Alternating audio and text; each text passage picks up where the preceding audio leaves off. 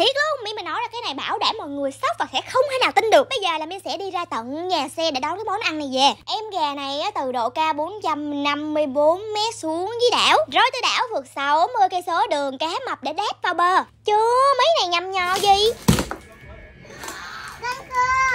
Vượt thêm 163 cây số đường khủng long đi. tới cái bến xe thôi. Từ bến xe về nhà Min phải thêm 20 phút nữa. Nói thì nghe rất là ghê gớm và hùng hổ. Phải làm món gì vậy? Ngôi sao của ngày hôm nay đó chính là món gà hấp trên núi Ma Tiên Lãnh nằm trên đảo Hòn Sơn bữa trước Min ăn Min có review đó xong Min khen ngon quá Min thèm quá mà giờ về Sài Gòn không có ăn được. Tiếc ghê. Thì có một bà nữ người địa phương nói nếu thèm đến như vậy thì sẽ gửi xe để Min nhận ở trong ngày và ăn liền trong đêm. Thật sự quá là tuyệt vời. Nhỏ thầy phán số con khổ lắm nhưng mà được cái hả cuộc đời luôn gặp quế nhân phù hộ. Ủa sao anh có con gà mà nói chuyện đi xa với người ta? Rồi lại la lại la bạn này đóng hàng gói kỹ lắm. Dặn dò Min nó là khi nhận được hàng nó sẽ chế biến ra sao. Lúc mới đầu là Min nhờ bạn mua giùm, nhưng mà điều bất ngờ là bạn tặng cho cả gia đình Min ăn.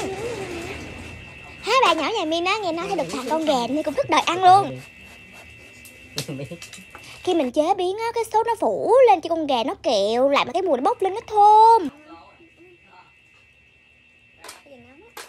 Phần gà này có kèm gỏi nữa gỏi bắp chuối. Của mi nó là ăn cơm từ chiều rồi nhưng mà ăn ít ít thôi chừa bụng tối nay ăn cơm với gà tiếp. Một chén cơm nóng ăn chung với miếng gà đậm đà ta nói. Tuy á nó vận chuyển xa nhưng mà cái vị của nó vẫn ngon như ăn tại chỗ. Ba mẹ của min ăn á là cũng khen ngon nói lần sau có đi hồng sơn nó nhất định phải ăn con gà này nha. Hai bà nhỏ này á bình thường là mê gà rán lắm ăn nó giòn giòn nhưng rốt cuộc ăn cái gà này cũng bị mê luôn. La gà thả vườn á nên cái thịt nó chắc he bạn nào ở sài gòn á có ăn gà này rồi thì mình nghiên cứu mình chế biến mình bán ở đây đi. Mấy cô chú có biểu cảm của bà cherry là biết mê cỡ nào rồi quá ngon không Uống xào ngon quá à. ừ. Còn bà nhỏ kia nguyên nguyên đống gà không ăn cứ gặm cái chân miết thịt nào không ăn đi ăn cái chân gà làm sao mà có thịt ăn?